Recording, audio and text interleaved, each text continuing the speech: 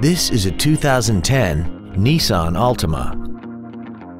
This car has a continuously variable transmission and an inline four-cylinder engine. Its top features include keyless ignition, a multi-link rear suspension, traction control and stability control systems, aluminum wheels, and a tire pressure monitoring system. The following features are also included.